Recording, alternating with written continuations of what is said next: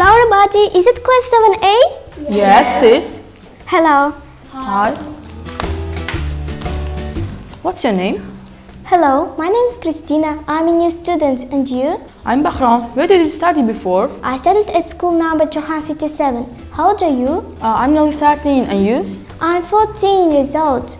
Nice to meet you. Nice to meet you too. Christina, what's your hobby? My hobby is reading and yours? Oh, really? I love reading too. Oh, when did you start reading books? Uh, I started when I was 6 years old. What was the last book you read? Little Woman and yours? Oh, really? I last read that book too. It's very interesting. Yes, it is. Who is your favorite writer? Uh, my favorite writer is Shakespeare. And you? I read a lot. For that reason, I have a lot of writers. My favorite writers are Natalia Shebra, Dan Brown, and Alexander Dumas. My favorite book is Anne and the Fighter.